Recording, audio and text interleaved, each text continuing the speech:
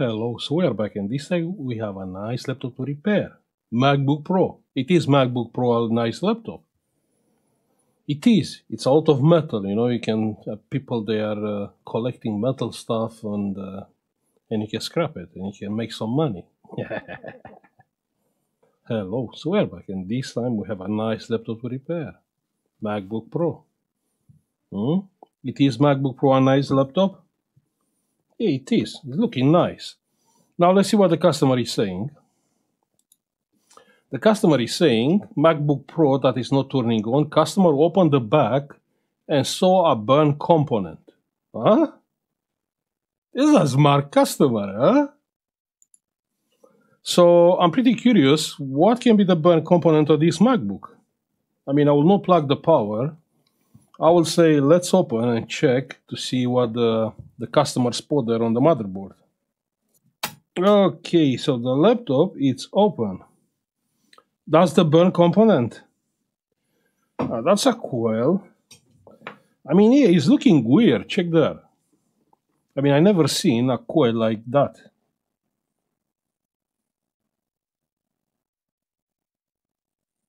Yeah, quite weird.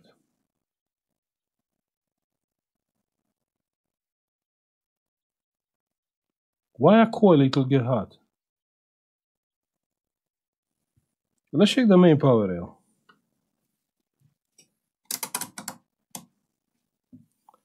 So the main power rail, we have a fuse there somewhere.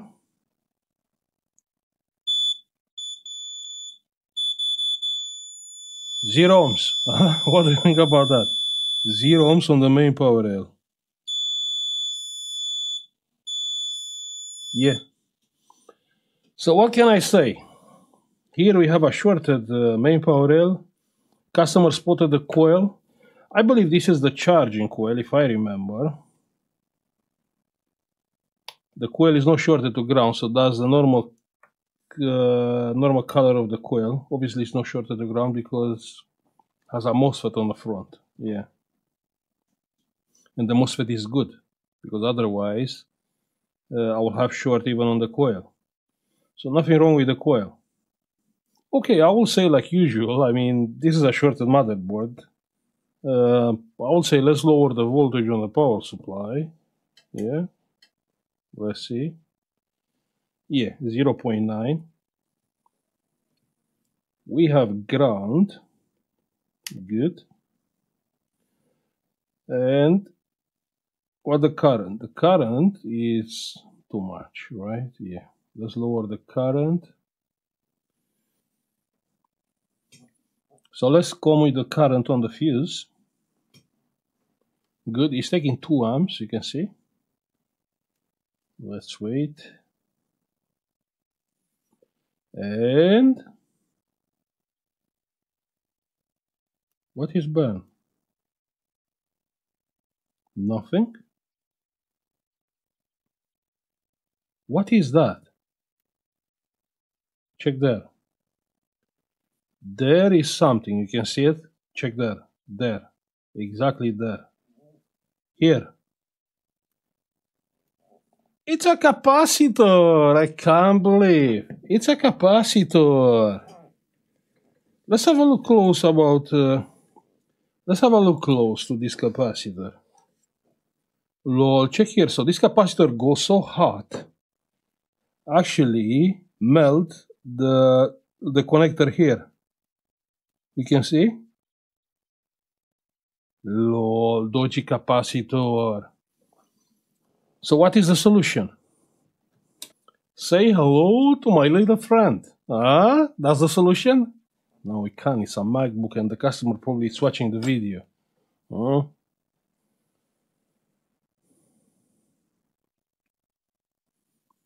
And that sucks. I mean, I prefer to just get rid of the capacitor because here we have a plastic connector.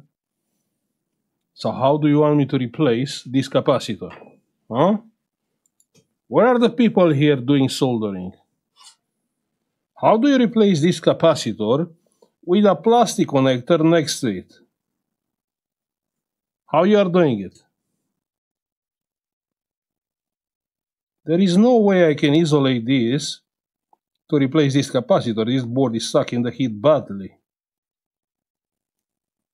And now you'll see people on the chat. Yeah, sorry, told you. Soldering tweezers. Yeah, I know, I know. And you know what? I just spoke today on the live stream, it's Sunday, about soldering tweezer, and I said, you know what? I don't have a reason to use the soldering tweezer, but here, there is no way I can remove or replace that capacitor without soldering tweezers. So let me grab the soldering tweezers. Huh? We have soldering tweezers, yeah.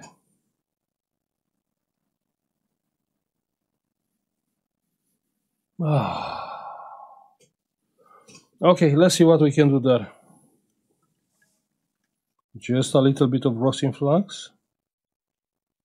Perfect.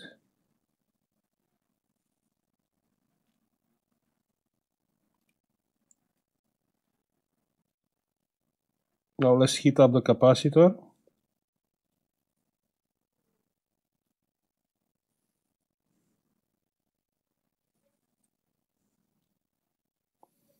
Now, about the battery disconnection. The battery is disconnected. And the moment you have a short on the battery, uh, the battery power management chip, it will disconnect the battery. The way how to activate the battery is to plug the charger and charge the battery. Yeah? So the moment you plug the charger, that's the moment when the battery is getting activated. So in a case like this, uh, uh, it's okay, you know, if uh, we have the battery connected. You know what? Actually, I never used the soldering tweezer, so this is the first time. I'm like kind of a beginner here with the soldering tweezer. I can melt here the solder, you can see, but not here on the other side here, because here is ground. So I will higher the temperature on the soldering tweezer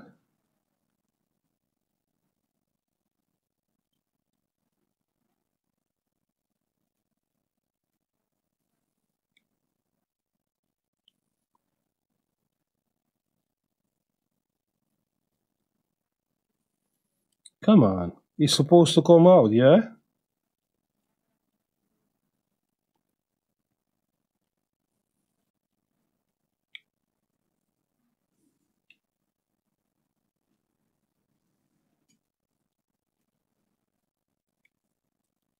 And the capacitor is coming out? I mean, the solder is melted, I can see it. Yeah, it is coming out. We took out the capacitor, I can't believe. Yeah. We took out the capacitor, but we left uh, a little a little bit from the capacitor on the motherboard. Here is fine. Let me use some uh, 180 degree solder wire.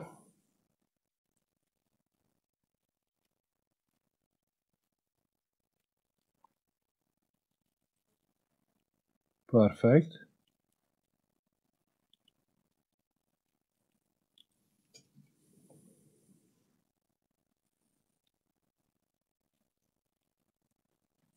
Rosin.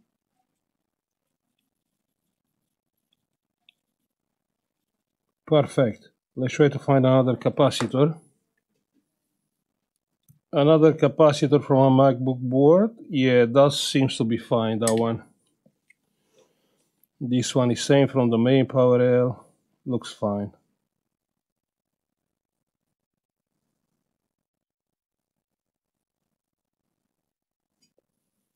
We need rosin? Possible.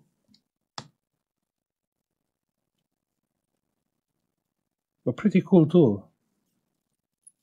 Come on. Nah, I'm no good at this. Okay, let's come with hot air.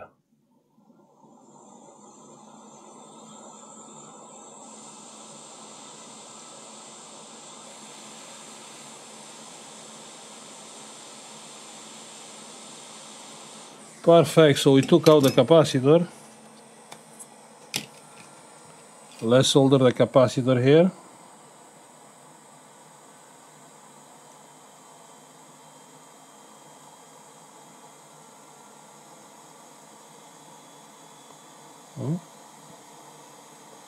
So how do I know when it's solder?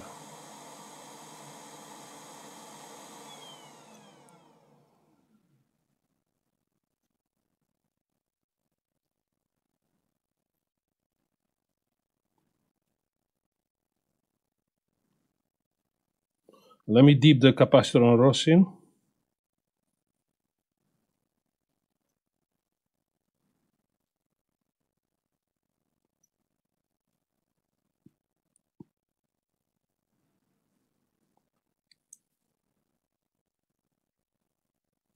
Perfect. Let's clean.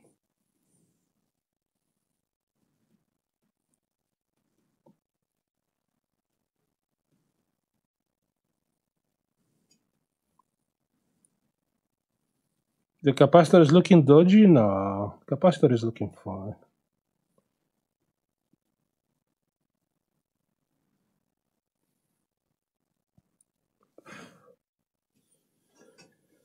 Is looking perfect or not? Huh? Just say it. That capacitor is looking perfect. Huh?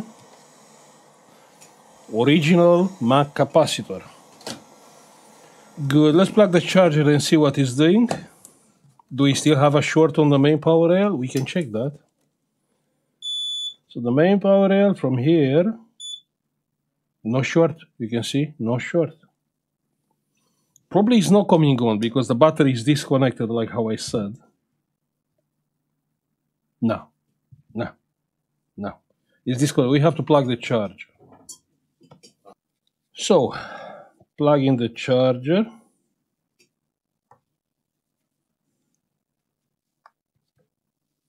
and the meter it is coming on 20 volts and it's getting reset 600 milliamps the fan is spinning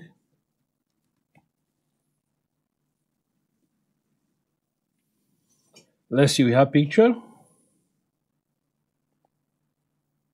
We have picture. That's crazy. Okay. Yeah, I have to edit the video now.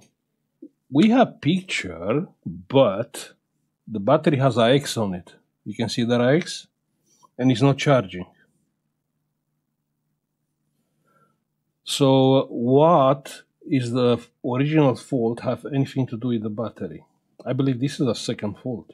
I mean, okay, we replace this capacitor which was here, but indeed, this coil is it's heated a lot, and uh, we have a hot coil, which is not hot, but anyway, you can see it was hot before, and it's not charging. So this has to be linked somehow.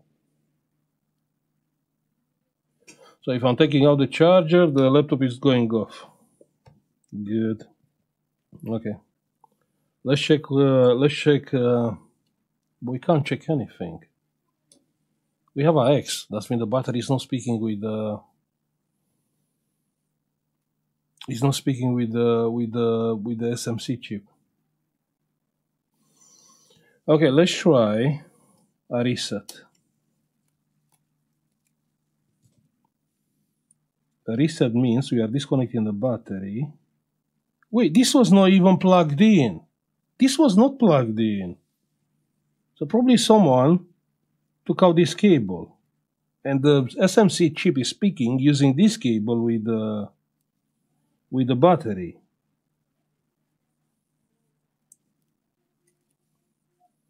Lol, you see, that's what's happening when someone is, uh, you know, opening the laptop.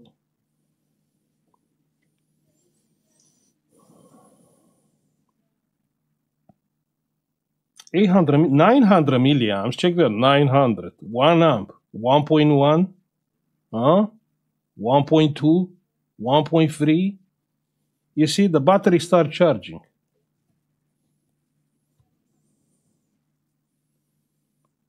Two amps. Yeah, check that. Two amps.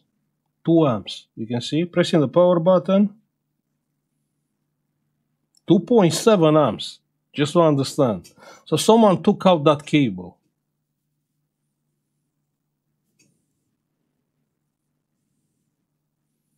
pressing the power button. So why the laptop is not coming on? Because the battery is low. Lol, yeah.